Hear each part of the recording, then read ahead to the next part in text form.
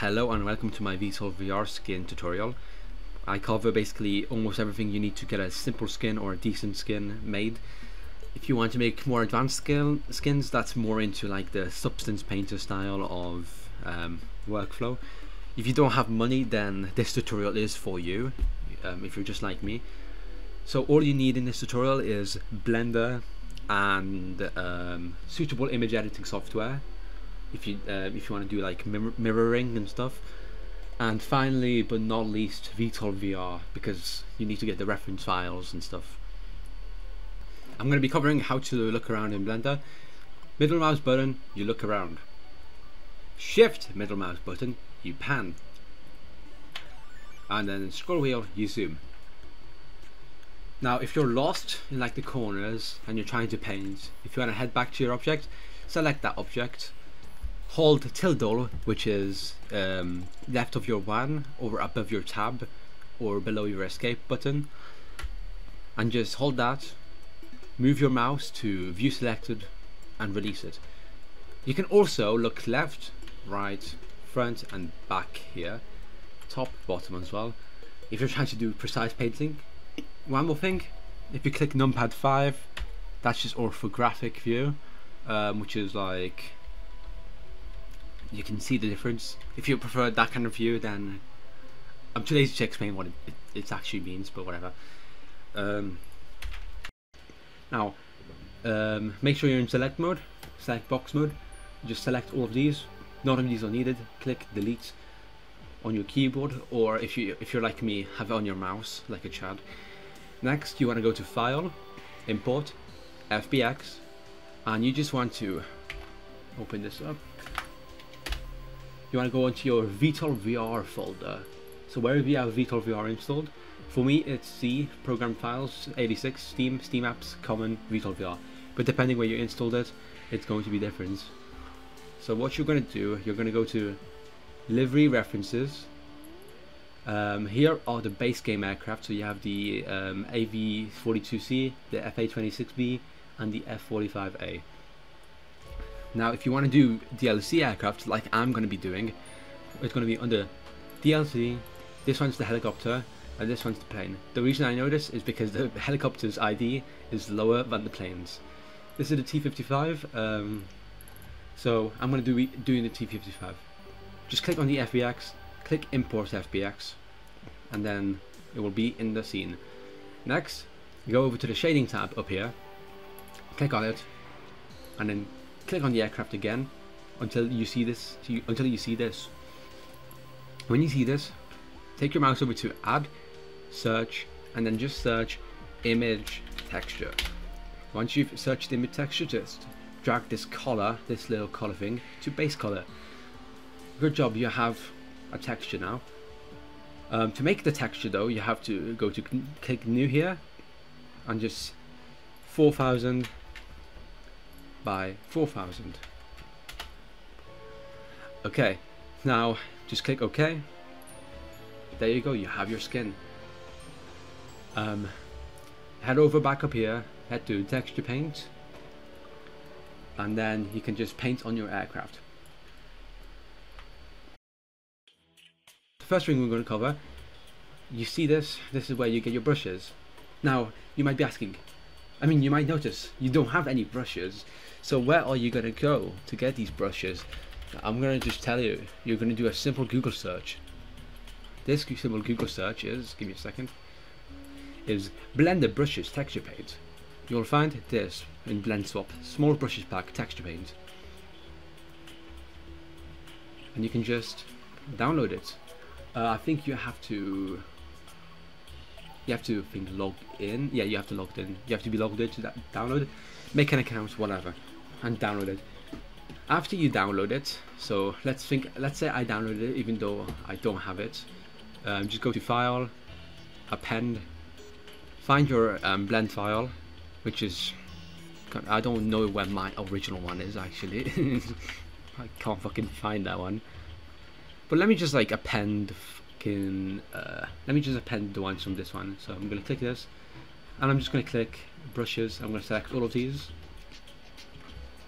uh, but I scroll down to the bottom for the easiest. Just click shift click and that will import everything when you press append those should appear now.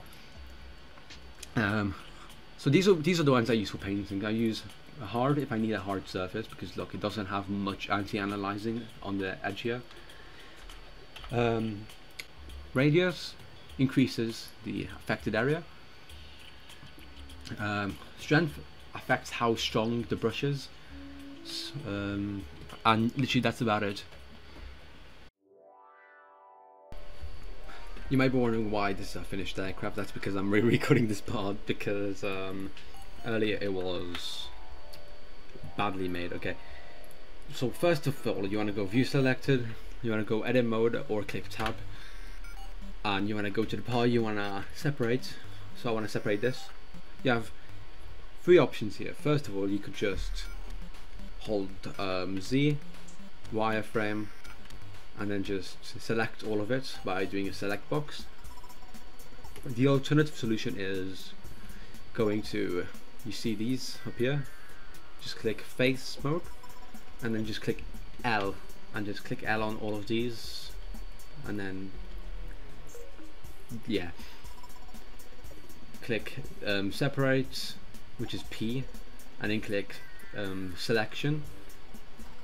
After this you can just tab out just go here go to texture paint and you can use the fill tool to your heart content. Yay. Next up is stabilize stroke. So this is my favorite feature. Um, so what this keeps me sane at night whenever I'm painting. Uh, I'm gonna go to this one. I'm gonna do the same thing whatever I'm gonna go draw and I'm just gonna go over to stroke. So stroke you see I have this ticked normally you shouldn't have this ticked but when it, when you tick it it's, gonna, it's an incredibly useful feature.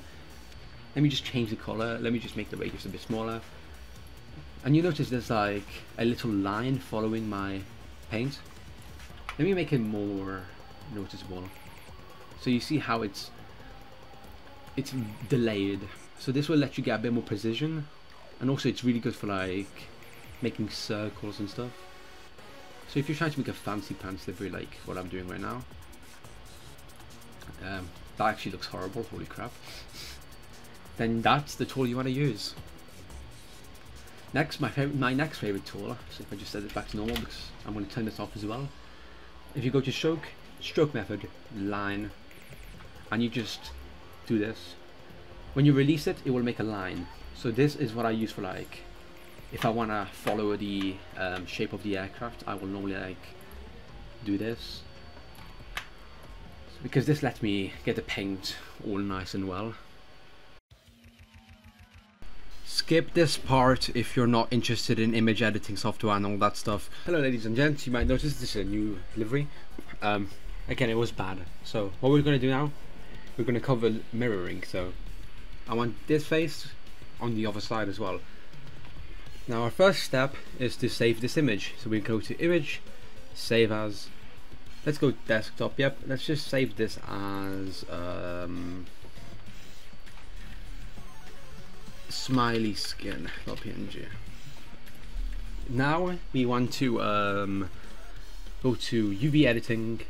Make sure you have everything of this plane selected. If you don't have anything of the plane selected just click A and if you see all of this just drag and select or just click A like a normal person. Go to UV and then go to export UV layout and then just export it. I already have it exported multiple I've exported this thing multiple times over and over again. So it's, it's, it's here as well. Let me export it again. Now you want to go to your image editing software of choice. So what we're doing is now um, let me show you guys. I am gonna go to my desktop images. I'm gonna grab my my smiley skin. I'm just gonna drag it in. You might notice you might notice where the fuck are the lines? Well, you want to drag the UV in as a new layer. After you added the UV in as a new layer, you can see exactly what's going on. Here's the nose, here's the main fuselage part, here's the top of the fuselage. Yeah. So what we're going to do, we're going to go to our first layer again, where the smiley skin is.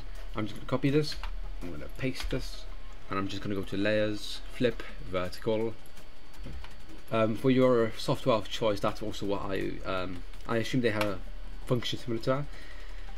If you want to make it as accurate as possible, try figuring out where the similar geometry for both sides are.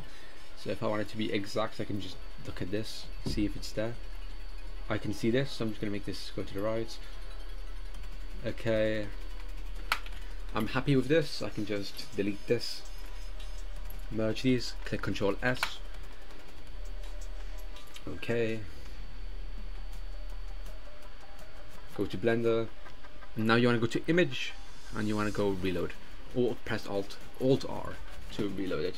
Now if I go into Material Preview, hey, it's on both sides. I usually do this for patterns and stuff.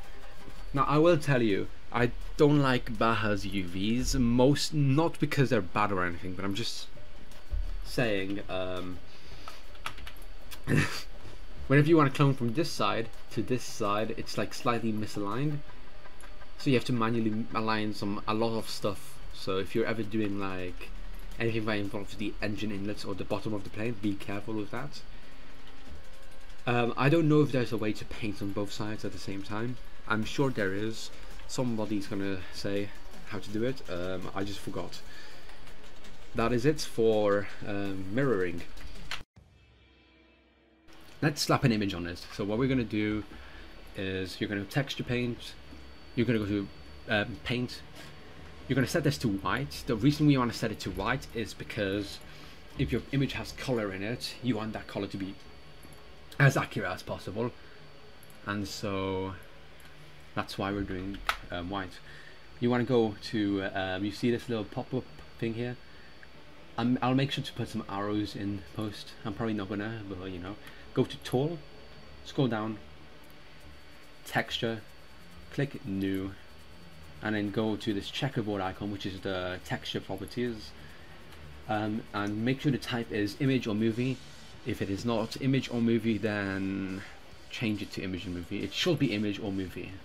Click open and then just find an image you want to use. Um, let's see. What's a funny meme I have? What's a funny meme uh,